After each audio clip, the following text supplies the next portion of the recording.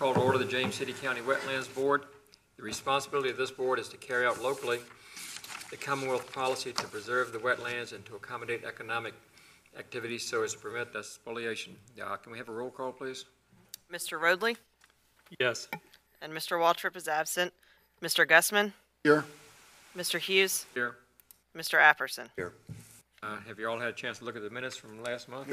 Any problems? Okay, the minutes stand as prepared. We have a public hearing, WJPA 190036. Mr. Wilson? Good evening, Mr. Chair, members of the board. Going to try a little different uh, presentation style tonight, so please bear with me. I'm going to go through the presentation and the memo at the same time. I apologize in advance if I get lost. I'm Mike Wilson, Senior Watershed Planner, here to present case WJPA 19-0036, Mr. Bruce Christman at 105 Shellbank Drive. They are proposing, he is proposing a uh, revetment, uh, 155 linear foot revetment, and associated bank grading. The Chesapeake Bay Board, which meets immediately after this board, will uh, look at the bank grading portion of this project at that point in time. He's also proposing a 100-foot-long pier, which is outside this uh, board's jurisdiction, but I just wanted to make the board aware of that as well. Uh, Project located in the Shellbank subdivision, First Colony, off of uh, John Tyler Highway and/or Green Springs Road. Lake Pasbehegh is here, James River is here. Uh, New for this month, I have started to include the um, county watershed drainage divides. Um, This magenta line here, that is the uh, James River direct discharge watershed for the county. Gordon Creek up here to the uh, north, or northwest, and Powhatan Creek to the south of uh, the project location. The 2019 aerial photograph of this project site, um, we'll notice that uh, on 107 Shell Bank and 103 Shellbank, uh, there are existing stone revetments. There's an existing failed wooden bulkhead in this location. You can see waters behind the bulkhead. This is a actively eroding uh, bank, vertical in nature, 20 to 25 feet uh, in height. What we can also see here are uh, a lot of uh, very mature oak trees, 20, 24 to 36 inch diameter, um, very near the top of the bank. And um, a little, this one's not so clear, but there's also some uh, uh, piles and dead men from the failed bulkhead that are in this location here.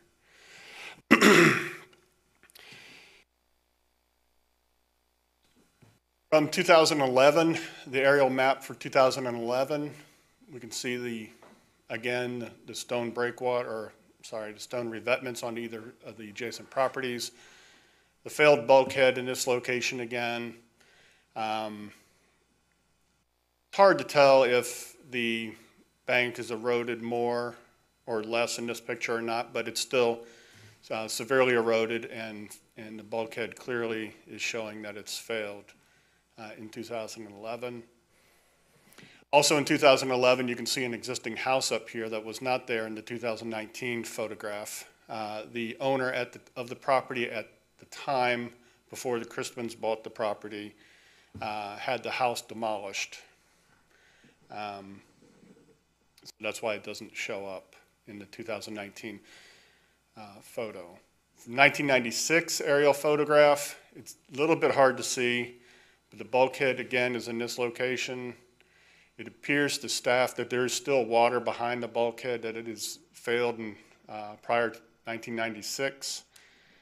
You also notice on both adjacent properties, neither one of them have a revetment in place. Um, Topography of the project site, this topography doesn't do it justice. This bank is vertical. um, but the computer just doesn't allow uh, topo lines to be drawn um, in a vertical nature. So, um, again, it's, the toe of the bank is approximately 20 to maybe 25 feet in a couple places from the failed bulkhead here. So this distance to this distance is approximately 20 feet, maybe 25 in some areas. Oops. FEMA floodplain, um, this is on the James River. There's a, uh, very long, uh, fetch to this project. And when FEMA redid the floodplains in 2015, this property and, and the ones adjacent to it are uh, what's now considered the VE zone, which means that there's wave action associated with flooding. Um, And that elevation is elevation 16 uh, that the waves potentially could impact, uh, which makes sense given the nature of, of the way that bank looks. From the, um, from the permit application that Ms. Havens supplied, the, the failed bulkhead is in this location. Proposed revetment is approximately three feet landward of the failed bulkhead. There are PVC pipes in place in the field to mark the toe of that revetment. And in cross-section, you can see the revetment here, the failed bulkhead here, and PVC pipe here. And then she also, um, because these PVC pipes at the toe of the revetment will be disturbed during construction, she offset ones five foot seaward of where the toe is to be located for um, ease of construction in the future. You can also see from the uh, cross-section that this part, and I'll get to this in the, the uh, Chesapeake Bay portion, this portion of the bank is to be cut. This portion behind the revetment is to be filled. Um, Proposed house that the Crispins are working on, as I said earlier, the, the house that showed up in 2011 is no longer existing, and the, the property is uh, vacant. Uh, The proposed pier that we mentioned earlier will be here. Site photographs. Failed bulkhead, uh, it was proposed to be flush cut and removed with the construction of the revetment. Uh, The deadman, pi- uh, the piles and the deadman, all that, uh, all those dilapidated structures will be removed. Um, there's something I didn't mention earlier, but there's something approximately where the toe of the revetment's gonna be, and it looked to be a really historic bulkhead. Um, Not sure what's going on there, but that's, that's this, in this location. This area is intertidal, uh, the intertidal area between mean low and mean high, and it is to be filled. Different uh, perspective, again, the existing bulkhead, which is being proposed to be flush cut and removed. The Existing deadman piles to be removed. Again, looks to be an historic bulkhead. um, And this, then this one was put in later after this one failed. Then the intertidal area. Here's a low, here's one of the PVC pipes that we discussed, basically at the first, if you want to call it that, the first bulkhead that's failed. And then there'll be a corresponding one uh, seaward of the uh, primary failed bulkhead. The slope, approximate mean high water is, is somewhere in this area. The intertidal area, again, to be filled, the 20 to 25 foot tall bluff. You can see these large oak trees at the top of the, very near the top of the bluff. Again, the existing bulkhead to be removed, deadman piles. There are pockets, not a lot, approximately, st- staff approximated maybe 20 square feet of peltandra that would be, would be impacted in the intertidal area and PVC pipe locations. From the top of the bank, failed bulkhead, the deadman, the intertidal area, PVC pipe locating, marking the of the revetment. And then, again, you can see it, that toe is gonna follow, for the most part, the old, original failed bulkhead. Um, So, staff did meet with the agent, Ms. Carla Havens, uh, the contractor who's proposed to do this work, and several other contractors to discuss other options besides um, uh, the revetment as proposed. We talked about spurs off of one or both of the adjacent revetments. We talked about uh, breakwater out in the James. We talked about offshore sill, um, all the associated beach nourishment that would go along with that. Um, And um, Christman's uh, wanted to go with this proposal. Um, Because of the vegetated wetland loss of approximately 20 square feet, uh, staff's requiring a $500 surety so they could buy uh, wetland credit from an approved tidal wetland bank. Uh, Once they provide uh, written proof that that's been accomplished, that surety would be returned.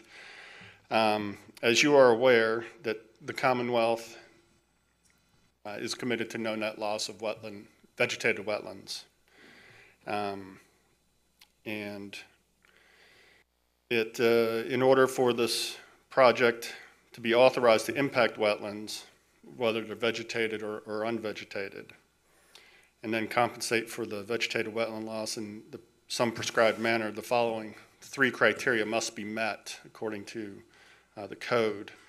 All reasonable mitigative efforts, including alternative siting, which would eliminate or minimize the wetland loss or disturbance, must be incorporated into the proposal. And the proposal must be clearly water dependent in nature, and it must demonstrate clearly its need to be in the wetlands or overwhelming, and its overwhelming public and private benefits. Um, If the project cannot meet one or more of those criteria, the project must be denied or occur in areas outside of wetlands. Should it satisfy all those criteria, then compensation for the vegetated wetland loss is required.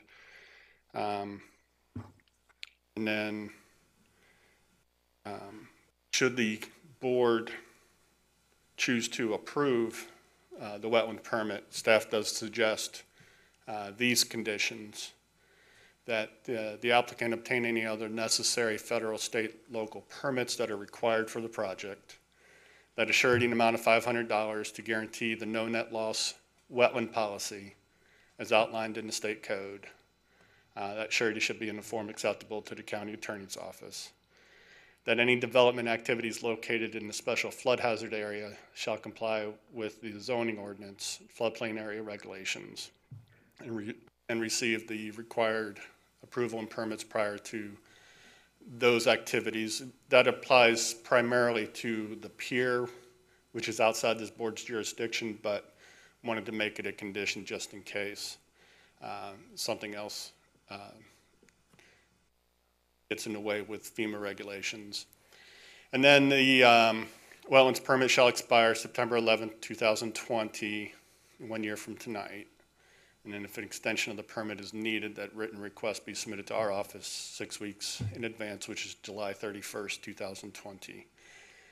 Staff would be happy to answer any questions board may have on this uh, proposal. Any questions? Um, This is probably going to be a question for the applicant, but um, um, Is there a reason why we're not looking at, you know, some kind of living shoreline or, you know, why we're going with revetment? I guess I've gotten spoiled, you know, we've done uh, so many living shorelines and we've actually seen the results. They seem to be working really well. I'll defer that to the Okay. applicant. Is the uh, bank failing? I see the uh, oak trees. Are they look like, do they look like they're beginning to go? Um, those oak, there's no, no guarantees, but I've, those oak trees have been there, um, in the current proximity to the top of bank for the last five years at least, uh, that I've been aware of it. Uh, the bank is actively eroding. If, if, um, for instance, if we'd have got that hurricane last weekend, uh, like they predict, predicted at one point, um, one of those or more of those trees might have come down. Um, it's fairly uns- fairly uh, unstable at the very top of that bank. Other questions? Yeah, your, the photograph here, what, what, what tide was this taken on? Was this an extremely low tide or? Um, this was near an average low tide. Uh, we were out there with Miss Havens at this time. This was taken, um, and we wanted to be out there at low tide so we could determine the uh, the toe of the revetment, make sure it was outside of VMRC jurisdiction, things of that nature. And uh, were, was it an uh, was it a really low tide? No, I don't think it was.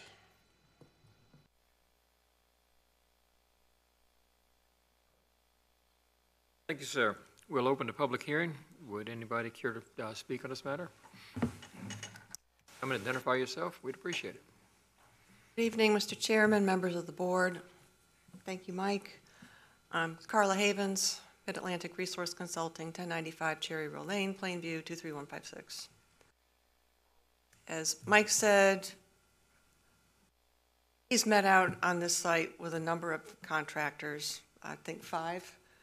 And, yeah, it- th- there have been multiple ideas thrown out on how to stabilize this bank it's like the last parcel along that whole stretch that hasn't been, well, it, it was addressed twice with a bulkhead, and it didn't work both times.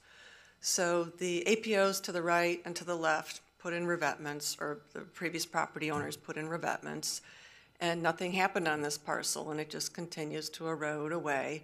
And as you see from that photo taken from top of the, the bank, it's, it's basically a 25-foot step down. And if you've been there, you don't want to get close to the edge. It's, it, it continues to, uh, to slough off in, in huge chunks. Um, A living shoreline was considered in a number of varying designs.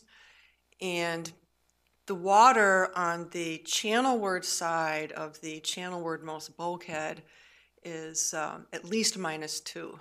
I was out there in it. And the volume of rock that you need for a living shoreline when you drop down two feet as opposed to being on the grate or, or on the intertidal area, I mean, it just, it, it doubles if not triples. So the, the, the cost to do something like that, and I don't want to give names of contractors, but um, the, the, the estimates were outrageous. Tri- Triple, triple what a revetment would be. So basically, um, what's proposed is, is not even to connect the two dots of the APO revetments. We're going landward about eight to 10 feet um, on each side and connecting the dots back there. So it's, it's, it's not as, as encroachment, it, it- it's not encroaching as far as it, it could. Um, We're trying to hold it back.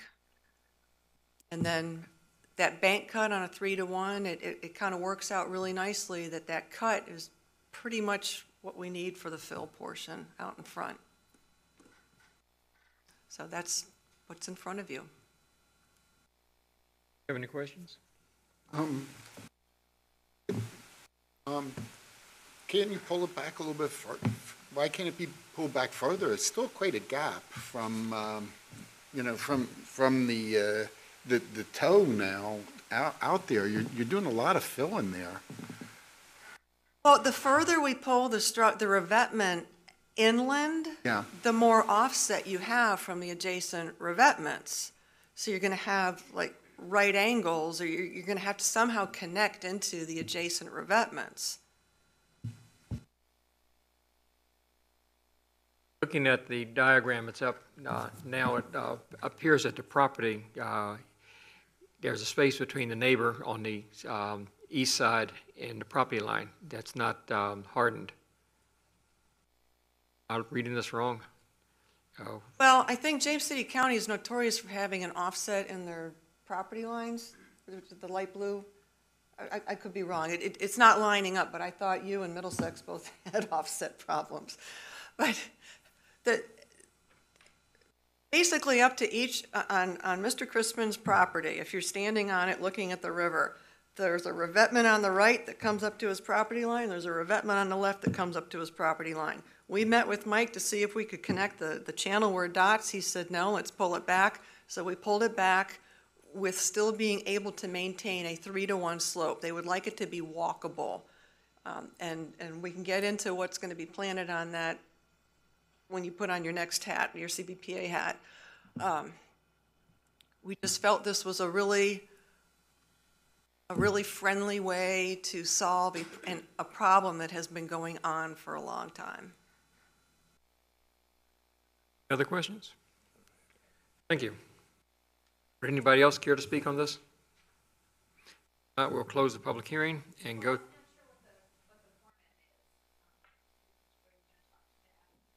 You can, well, you're welcome to come up and identify yourself, and we'll talk to you. Once we close the public hearing, then there'll be no more talking. Come, we'd like for you to identify yourself. Okay, please come up and identify yourself, and we'd like to hear your comments. Excuse me, Mr. uh, Chair. Could you reopen the public hearing, please? Okay, now we'll reopen the public hearing and uh, receive your comments. Okay, I'm Carrie Traver. I'm the adjacent property owner of the 103 Shell Bank. And uh, there are about five oak trees, and one oak tree is in my property, and I would very much like to keep that oak tree. So I'm all for the revetment, and I'm all for the plan that's been laid out. I'm just, I just want it on the record that I'm hoping that everything can be graded in such a way that there is care to keep the tree that's in my yard that's a little bit further back from the other oak trees. Just the one that we can see on the um, photograph on the right-hand side to the outside. That one. How does the property f- flow on your, do you have a three-to-one drop, or um, where is the tree? Or do you have a cliff there? What, what do we have?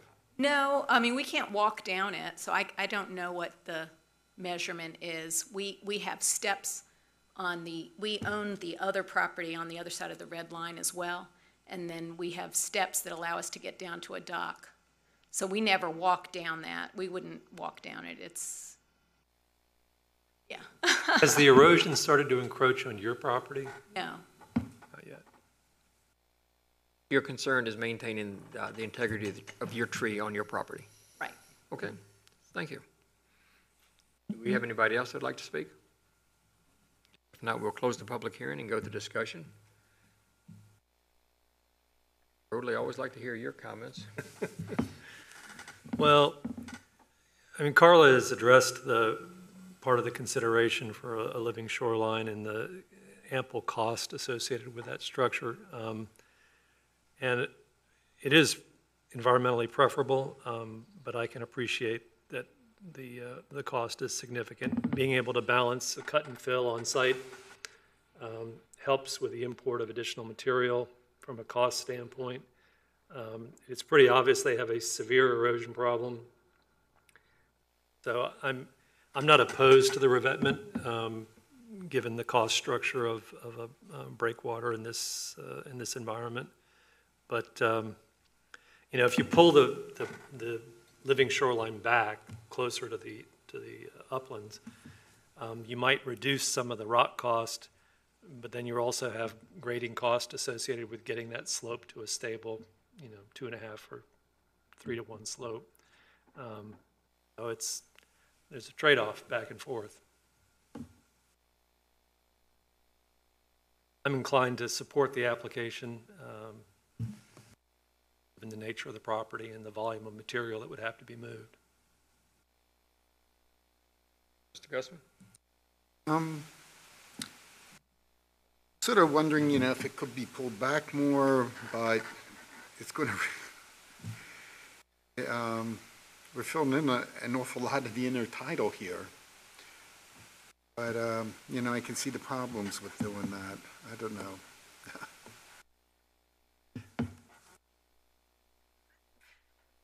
You don't want too great an offset, and I can see that the more it's pulled back and the- the- with the grading, it's going to affect the neighbor's property more. So I don't, you know, I don't want to cause problems for the neighbors too by insisting on that.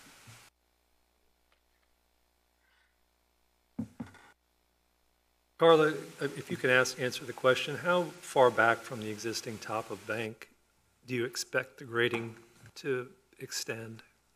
I think it was about 70 feet. It shows on, uh, oh, one of my drawings. And, and just, just to clarify, even if we do a living shoreline, you're still going to have to grade the bank. Yeah, I- It's, you- we're not getting, I mean, that's just the nature of the beast. It's just, this is one of the last properties out there that hasn't had the bank graded.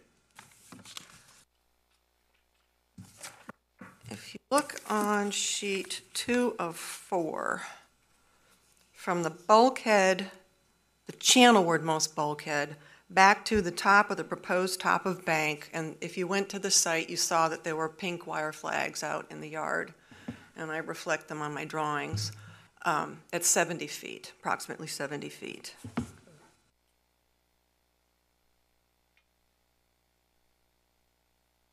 You've got the revetment coming up, and then the slope cut tying into the top of the revetment and, and continuing into the upland.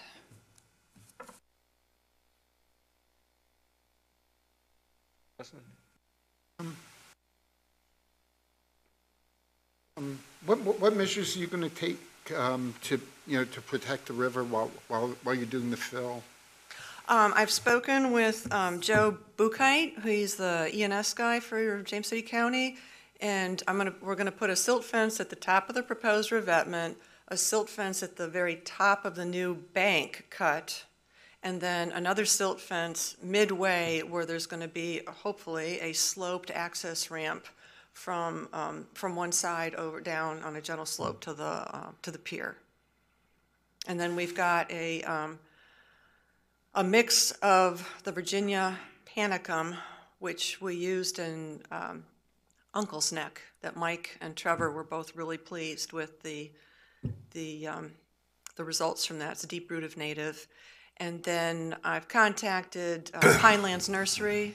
I don't know if you're familiar with them. They, they do a lot of wetland restoration, and they have two mixes, uh, and I sent the inf- information to, um, to Mike, and I think to Joe too. And uh, the two mixes that we're considering, one is called a steep slope stabilization mix, and the other is a erosion control mix. And Pinelands, I, I described the, the nature of the site to the nursery, and they said that either one would, would be an excellent selection for stabilizing that bank. It's deep-rooted natives and um, can handle lots of sun and crummy soil and not a whole lot of water. Mr. Do you have any questions? I, I went out and looked at this with, uh, with Mike, and, uh,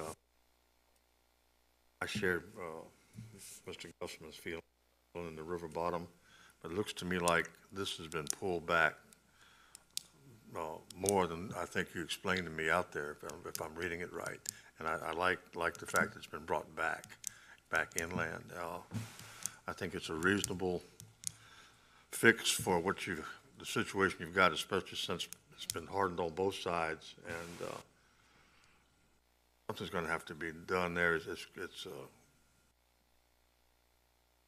to see it, it's a straight drop off, and the trees are just, just borrowed time, it has to be fixed.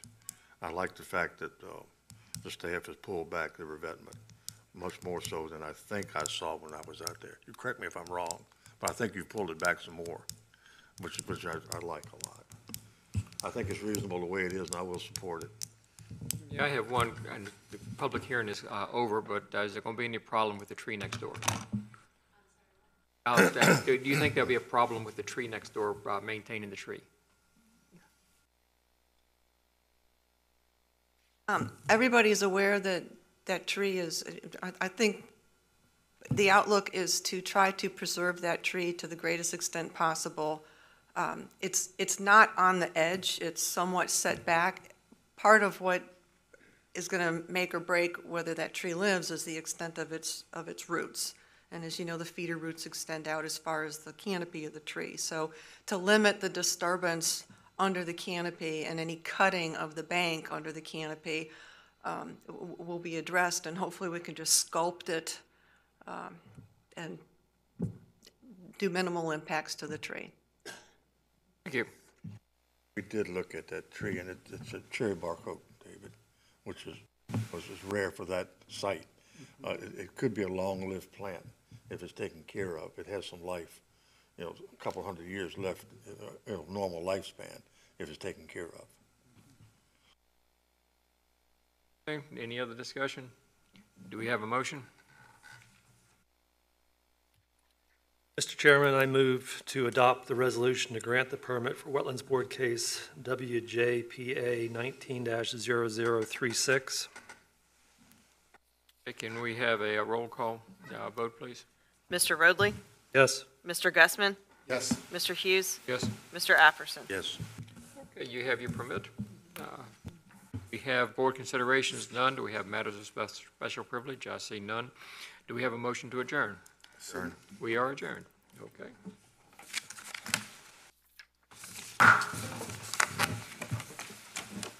I'd like to um, call to order the September 11th meeting of the James City County Chesapeake Bay Board. The responsibility of this board is to carry out locally the Commonwealth policy to protect against and minimize pollution and deposition of sediment in wetlands, streams, and lakes in James City County, which are tributaries of the Chesapeake Bay. Uh, May we have a roll call, please? Mr. Rodley? Here. Mr. Waltrip is absent. Mr. Gusman? Here. Mr. Hughes? Here. Mr. Apperson? Here. First order of business or the minutes. Are there any corrections, the additions, deletions to the minutes? No. The minutes stand approved. Our next order of business are public hearings, and we will proceed with CBPA 19-0088. Good evening, Mr. Chair, members of the board. Mike Wilson, Senior Watershed Planner, here to present case CBPA 19-0088, 105 Shellbank Drive, Mr. uh, Bruce Christman. Uh, This is the companion case to the wetlands case that was, uh, permit that was just approved. Um, uh, Again, the Chesapeake Bay Board is, um, we're going to be uh, looking at the bank grading and tree removal uh, for this property. Again, Lake Pasbehegh, and then James River, it's within the James River watershed. Uh, Should look familiar. Uh, The grading, as described in the, in the wetlands case, uh, uh, existing topo, that's a vertical bluff, uh, 20 to 25 foot. The floodplain, again, elevation 16, it is a VE zone, which means it has wave action from the application, um, these red X's are uh, trees to be, they're either already gone or they're being proposed to be removed um, with the bank grading or in the case of the trees here with the, uh, with the house. The tree in question for uh, the neighbor uh, is, is off the page to the left here. And we do have a photograph of that. I will point that out to you when I get to it. Again, from the wetlands application, the cross-section, revetment here, the old failed bulkhead, uh, this area to be filled, this area to be cut. Generally, a three to one slope from the top of the revetment towards the house. Uh, There is a proposed, instead of putting steps in to reach the pier, the applicant is proposing uh, a sloped ramp. at- um, Don't know exactly what that slope would be, but it would be in this area from the pier location to the, the southeast, adjacent, uh, property here. The rest of this bank would be relatively, or a lot steeper. They could walk down this, uh, fairly easy. Also shown on this plan is three silt fence locations that Ms. Havens explained in the wetlands uh, project. Silt fence here at the top of the revetment. Uh, The silt fence here at the landward side of the access ramp, and then one at the top of the uh, graded area. And a proposed revetment. Uh, Future house, uh, Those plans, to my knowledge, have not been submitted yet to the county. Um, of proposed grading would be here at the silt fence. Trees to be removed. From the um, proximate location of um, middle of the house, perhaps, these trees are all very close, within 10 feet or 15 feet of the bank. Those would all be removed with the bank grading. They're located generally in this area.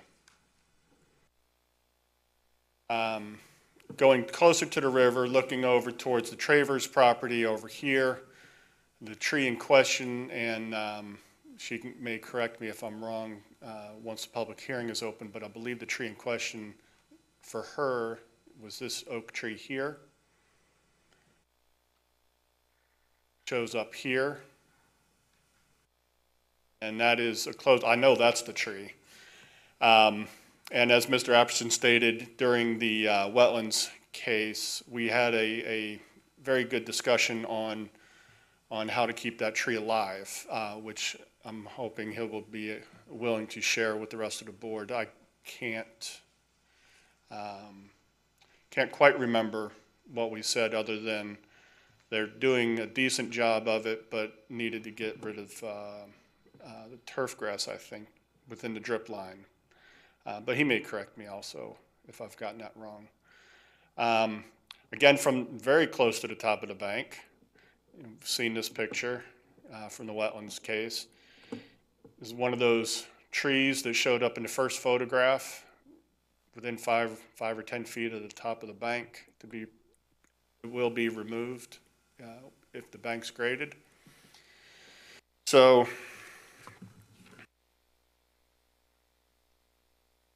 this, staff has evaluated the, um, the application and according to the ordinance, section twenty-three seven, the application has to meet five conditions in order for the board to approve. And, uh, I'll just go through those real quick. That, one, the exception request is the minimum necessary to afford relief. And the granting the exception will not confer upon the applicant any special privileges denied by the ordinance to any other property owner similar, similarly situated in the vicinity. The exception request will be in harmony with the purpose and intent of the chapter and is not of sub- substantial detriment to water quality that the exception request is not based upon conditions or circumstances that are self-created or self-imposed and does not, re- and their request does not arise from conditions or circumstances either permitted or not, non-conforming that are related to adjacent parcels.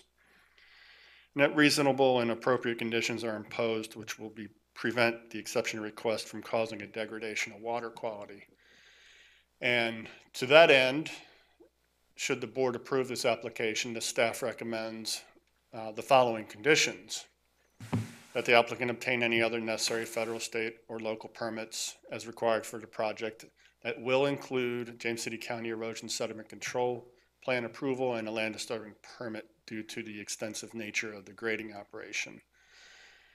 Uh, The exception request approval shall become null and void if construction is not begun within one year from tonight, September 11th, 2020. And then any written request for an extension to the exception shall be submitted to the Stormwater Resource Protection Division no later than six weeks prior to that expiration, which is July 31st, 2020. Be happy to answer any questions the board may have regarding this application. Um, That access ramp, is, wait, is that, um, Is the access ramp uh, permanent, or- permanent, or is that just for the construction? It'll, it'll be used for construction certainly, but it's intended to be permanent. And um, c- can you describe that? Sure, it'll just be a, it'll be a less, it'll be like a switchback in the mountains. It's a way to get down the slope. You, you go down, uh, more, But it's not paved or anything? it won't be paved, no, it's gonna be grassed or, or vegetated, I should say. Okay. Uh, with the slope stabilization mixes they're proposing. Um, and that, that, um, Ms. Havens did bring it up in the wetlands case, but they are proposing, uh, uh, switchgrass and, um, and a seed, uh, wildlife seed mix native, uh, to the area or to steep slopes that, um, there will be no turf grass, no, no constant maintenance of that slope. Regarding the ramp, uh, the hill is gonna be a, uh, three to one. It'll Is the be- ramp gonna be three to one also as you walk down it? No, this'll, this'll be more ten to one, fifteen to one. It'll, ju- it'll be a, s- it'll be a shallower slope. That's gonna be cut into three to one slope. Yes, it'll be, s- it'll be steeper. I, should have, when we were out there, the neighbor has the exact same thing on their property. I should have gotten a picture of that. It shows it, um, it's a great example of, of what they're trying to do. Um, Maybe it'll show up in the aerial photograph. Um, You can kind of see it here. It starts up here and comes this way. And then it- they have, they actually have a diverging path to get to their pier. Um, But the main cut is this way, and then this is, is cut into that three to one slope at a, at a shallower gradient. It's, it's completely grassed. Um, No I don't have to or- worry that that's going to intercept the flow, like in a heavy storm, that's going to intercept the flow with the storm water coming down the bank, and it's going to channel it all and, you know, and erode away. That's only a concern until the slope stabilized. Um, So while it's under active construction and, and still under uh, sediment, erosion sediment control bond, um, will that be a concern? Once the slope is stabilized and, and, and all the turf is, or not turf, but the, the seed mixes have come up, uh, it'll, it won't be an issue anymore. It will, in effect, channel it, but it'll be stable. Any questions for staff? Uh, At this time, I'd like to open the public hearing. Would the applicant like to come forward? Any, any comments? Chairman, members of the board, Carla Havens with Mid-Atlantic Resource Consulting.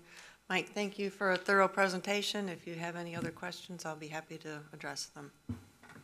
Any questions? Okay, I think you've answered everything. then. Thank you. Anyone else like to speak? At this time, I'll close the public hearing. Any Mr. discussion? Gusman, uh, for the record, I would think that, does the neighbor want to have the same comments put into the uh, file?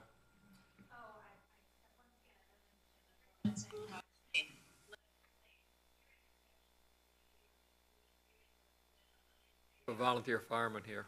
I apologize, but I thought I had it turned off, I'm sorry. I'll open the public hearing again. Okay, so I'm Carrie Traver, the adjacent property owner, uh, 103, and I'm, support the revetment project, and I just want the land graded in such a way that my tree is intact. Okay, all right, thank you. Any- Would anyone else like to speak on this issue? Uh, At this time, I'll close the public hearing. It's it's always a good idea, if you have any concerns or down the road, to speak during the public hearing and go on record that you were there and you had commented. Not that there would be any lawsuits or anything from this, but, um, okay, any discussion from the board? I think it's been just pretty well taken care of. My concern, number one, would be the neighbor's tree, and number two would be um, the stability of the ramp as the, during the construction process. I- I bel- have to, a lot of dependence in the county, so if the county says they can keep an eye on it, then uh, that satisfies me. Okay, would someone like to make a motion? I'll make a motion that we uh, grant the exception The resolution, uh, let me see here. Uh, motion to grant the exception, to resolution to grant the, uh, exception for the Chesapeake Bay Board case number CBPA one nine zero zero eight eight at one zero five Shellbank Drive. Okay, so we have motion to adopt the res- resolution to grant the exception. Uh, Can we have a roll call, please? Mr. Rodley? Yes. Mr. Waltrip is not here, sorry. Mr. Gusman? Yes. Mr. Hughes? Yes. Mr. Apperson? Yes. Okay, Uh, you have your permit or exception. Uh, Our next case is CBPA 19-0091 for 3884 Fox Run.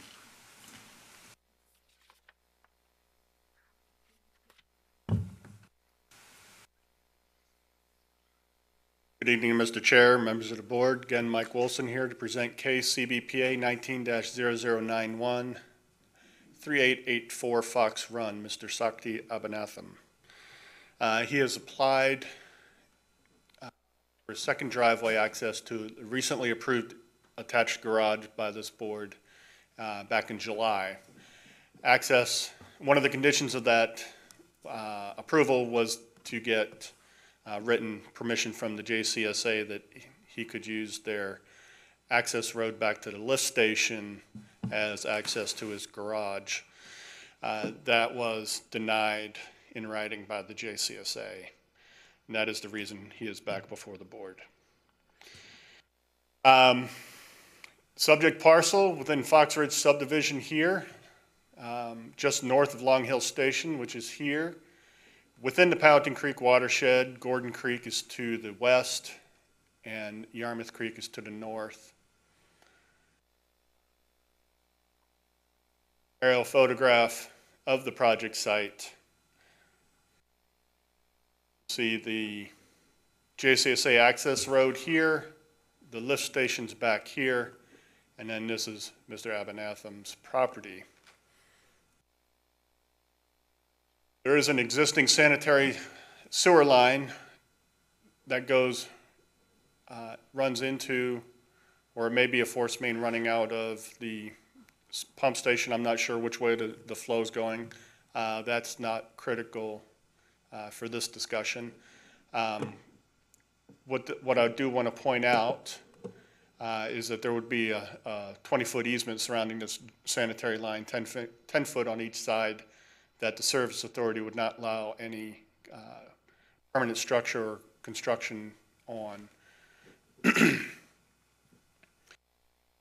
During the uh, hearing in June, um, staff realized that we didn't give a, a far enough away view of the project, and so there's a stormwater BMP down here uh, behind the, the lift station. And then the FEMA floodplain does come up um, and touches the flood, uh, the JCSA lift station uh, in elevation. I wanted to, to point that out to the board that time, this time, since, uh, since we missed that the, the last time. Um, Topography of the site, elevation 68 here, 66 here, 64 there, fairly flat, and it drains from the front right of the property to the back left. There is no floodplain on his property. However, uh, Mr. Abanatham is the, uh, his property is fully encumbered by the RPA as it was modified in 2004. From the original site plan application, uh, he had proposed an attached garage here, removing the uh, outdoor attached deck. That was granted June 12, 2019, uh, with the condition uh, that, again, the applicant shall provide written proof that the service authority would allow him to access or use their drive access here for his garage, proposed garage addition here. Again, that was denied by the service authority.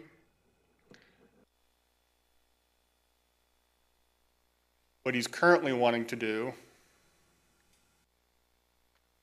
is put in a second driveway here, approximately 10 feet by 70 feet in width. Or, I'm sorry, 10 feet wide by 70 feet in length, um, parallel to the Service Authority's drive, so he can access the uh, garage that had been approved. Photographs from the site. Proposed driveway would be in this location. And right here is the Service Authority Access Drive. Walking down the Access Drive, proposed driveway's here. That tree would be removed, this shrub would be removed. Um, And then getting around to uh, the back of the property, the approved garage location here. That's the existing deck that would be removed. And then his proposed driveway would lead into that.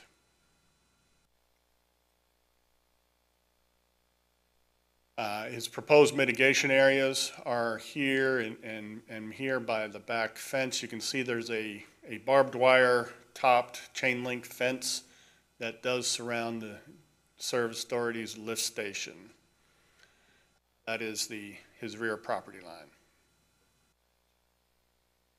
Uh, Again, from the ordinance, uh, the board may grant exceptions to section twenty-three seven if the application meets the following conditions.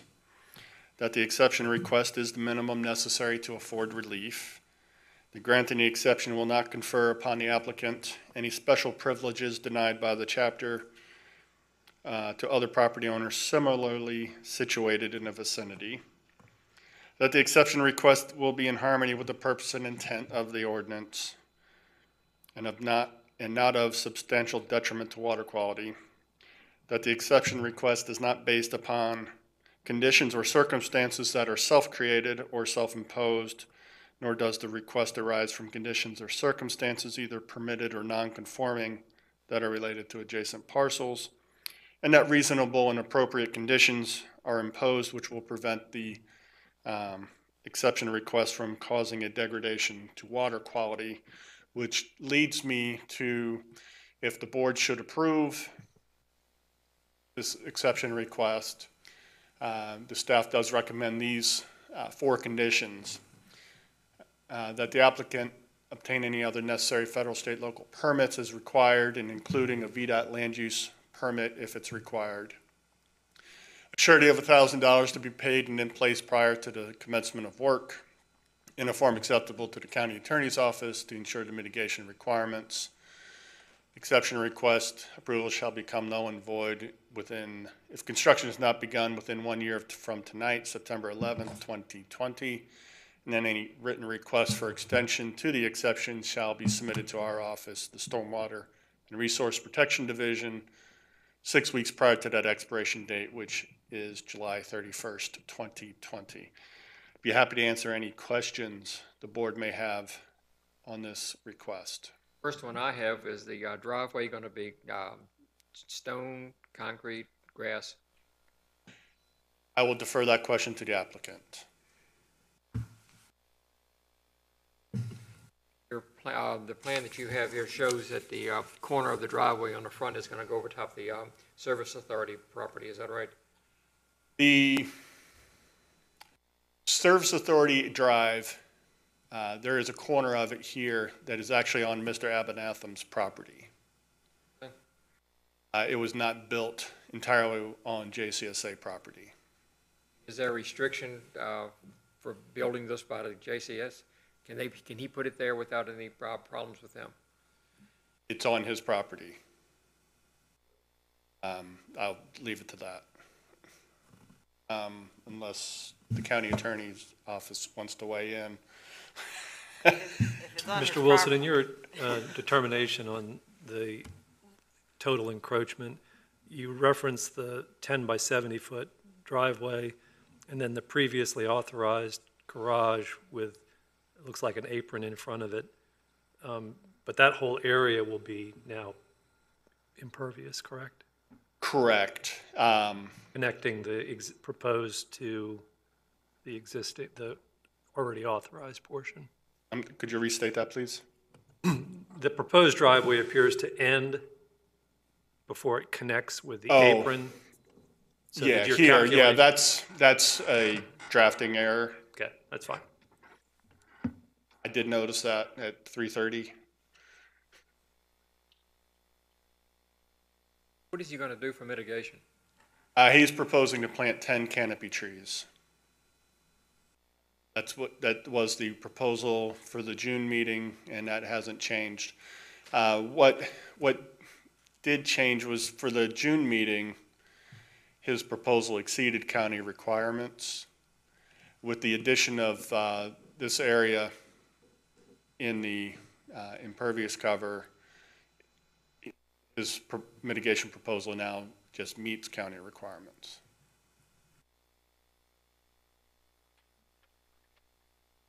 Any other questions for the staff? Just clarification, there's no setback issues associated with putting the driveway on the property line? Not with the driveway. Setback issues only uh, matter for structures.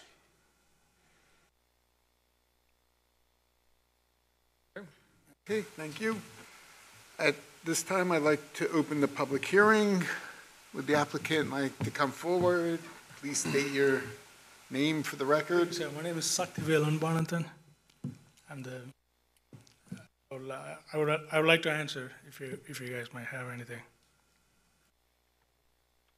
Any questions for the applicant? I have, why do you need a driveway to go back here? What's, uh, what's gonna be going on in the garage that you'll need a driveway for? Are you gonna park a car in there? Put that for me, please, sir. Why do you need a driveway? It's Parking the a only car, way that I can get, uh, reach to my garage at the backyard, are you gonna be parking a car in the garage? sir. Refresh my memory, is that a three-car And, garage? and motorcycle. Uh, Two car, and then, um, I have a couple of motorcycles too, so. So to enter the garage uh, with your motor vehicle, you'll go down the driveway, uh, the apron, uh, you'll pull onto the apron and then make a left-hand turn into the garage. Sir, Enough room to do that without going onto the uh, adjacent property? uh, my plan is to go and then back up, so it should be good.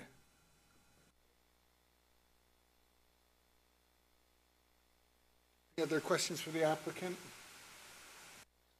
Thank you. Anyone else like to speak on this issue? This time I'll close the public hearing. Any discussion from the board? Don't have anything, sir. I think that uh, it's clear that uh, it's self-imposed, so the question is, uh, be granted, and what will be the uh, harm if we do grant it? Mr. Chairman, um, a part of, uh, we reviewed similar applications for encroachment for structures um, and gone to some considerable lengths with the applicants to try to do what they can to minimize their encroachment. Um, Part of the, the, the approval process for the original structure, the access along the JCSA easement gave that access without requiring any additional encroachment. So I'm, I'm, I'm struggling with this because I, I think we're doubling the encroachment into the RPA um, for this access and concerned. No, we, we approved the garage and I would have a problem with it if it wasn't a yard. It's already a yard. It's a driveway right beside it and the house is adjacent to it. And I can understand exactly where you're coming from. I Believe me, I do. But, you know, I, uh, I'm agreeing with what you say, but I don't- can't see, uh, any, any, uh, you know, alternative, any solution to it. I mean, it would have been nice if the service authority had granted the permission, but they didn't. Of course, I would have written them a letter charging them rent for their road on my property, maybe, uh, after I got that answer. Uh, and, um, I don't know, I, I sort of feel you know, we've given permission to build it, it's got to be able to get back I to his agree with what you're saying exactly, entirely, yeah. I really, Just keep in mind that condition, that approval was conditioned upon access via JCSA property. Yeah. I, highway oh, we forgot to get it, we didn't get an answer of what, what this is going to be constructed of. I'd, I'd like to hear that. I'm sorry, if you, I'll reopen the public hearing. If you could answer, what will the, how will the driveway be The constructed? rock, I'm, I'm thinking rock, maybe later like concrete, maybe, I'm not sure. Well, can we, can we make a condition that it be permeable? Um, um, I mean, I I would be more favorable if this is not paved and it, you know, it was, So let's leave it in, on, on rocks, like not, The board may have a condition as, you know, as they see fit. Um, If they want a permeable paver type, a permeable surface driveway, that's certainly within your purview to require that. Staff would, is hesitant to recommend that to the board due to maintenance, long-term maintenance issues associated with that. Uh, Would be more inclined to say it needs to be a gravel surface as opposed to asphalt or concrete. Um, The gravel will compact and become impervious over time as well, but there's, there, the area in between won't necessarily uh, be as impervious. There'll be a little bit of uh, infiltration going on with that. But does, does that uh, allay any concerns? Does that make it better? Well, the county considers, if I'm not mistaken, a gravel to be an impervious surface, so it, We do. In terms of surface material, it's, whether it's gravel or concrete or asphalt, we consider it impervious, one hundred percent. That doesn't ring me. Um, Okay, at this time, I'll close the public, No, you go ahead and close the public hearing, Mr. Chair, but I wanted to address Mr. Rodley's concern about uh, one of the previous conditions. Um, Anticipating that issue might come up, uh, consulted with the county attorney's office today, and we've modified the resolution um, to include a seventh item. Normally, they have six. Uh, The seventh item, and I'll, I'll read that into the record. Uh, So this exception request approval shall satisfy the conditions set forth in case number CBPA nineteen 32 3884 Fox Run, number six B, requiring the applicant to, quote, provide written proof in the form of a license or permanent access easement from the James City Service Authority that the applicant may use a portion of three eight eight zero Fox Run to access the proposed garage. I believe that addresses your concern. well, it, it addresses the legality of it. Well, well, yes, the legality of it, correct. good answer. all right, so with that addition, there's no violation of the previous permit, Yeah. but, um, Hope the highway department goes along with it. Well, uh, public hearing's closed now. Um, Discussion from the board. I think uh, I'm in favor of going, of approving this. I will vote for it. Right? Uh, Would someone like to make a motion?